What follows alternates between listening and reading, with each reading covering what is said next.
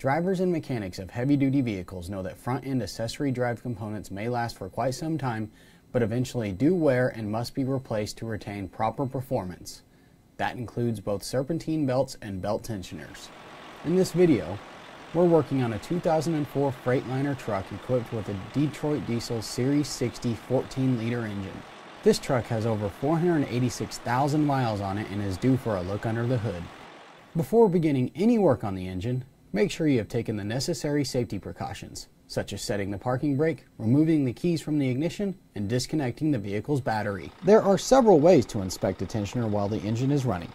If you hear any noise coming from the tensioner, it may be a good idea to check the tensioner with the engine shut off. If the serpentine belt is tracking improperly or is off center, this is a sign of bushing wear resulting in tensioner misalignment. Loss of tension Sticking or notchy movement are also signs of a tensioner that needs to be replaced. You can also test serpentine belt noise with the engine running. Lightly spray the rib side of the belt with water.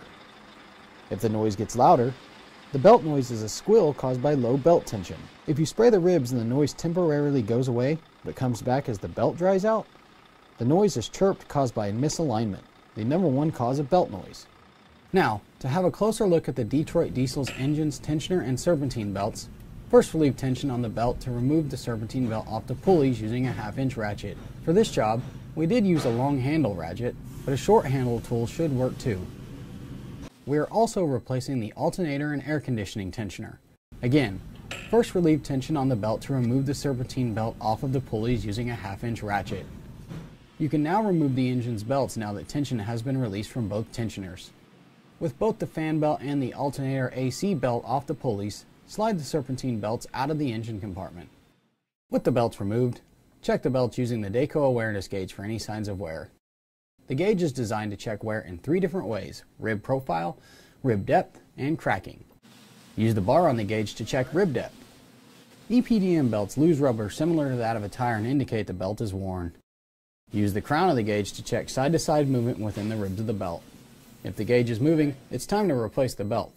Keep in mind, using anything such as belt dressing to quiet a belt will contaminate and ruin belts made of EPDM. Go ahead and look for cracks, chunks of the belt missing, abrasion, and pilling as these are signs of belt wear on the older neoprene style belts. Now let's remove both tensioners. Remove the fan tensioner by using a 19mm socket. You can remove the AC tensioner by also using a 19mm socket. With the tensioners removed, inspect the parts for any sign of wear. Be on the lookout for any bearing noise as well as metal-to-metal -metal contact between the arm and the spring case, which is a sign of bushing or pivot bushing wear. Lastly, if there are any cracks in the tensioners, or if the tensioner arms or spring case is broke, make sure you replace the tensioner.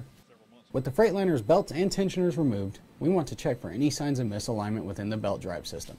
Use Dayco's laser alignment tool, which is available in the Daco belt diagnostic kit, to check for misalignment.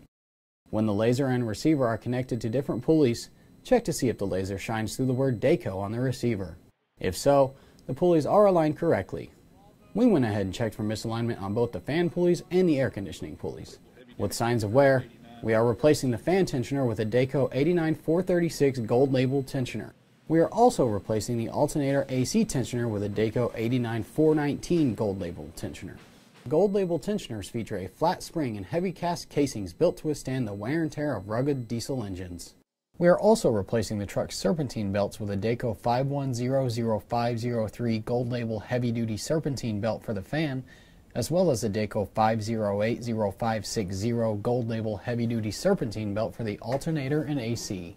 Dayco Gold Label belts are built to withstand the high torque of diesel engines and are engineered with EPDM rubber compounds to resist heat and harsh underhood environments experienced in over-the-road and off-road conditions. Before installing your new Dayco tensioners, clean the mounting surfaces on the engine with a light abrasive sandpaper or abrasive pad. Excessive buildup of oxidation or other foreign material on the engine's tensioner mounting surface may cause an uneven surface for the new tensioner, resulting in misalignment, the number one cause of belt noise.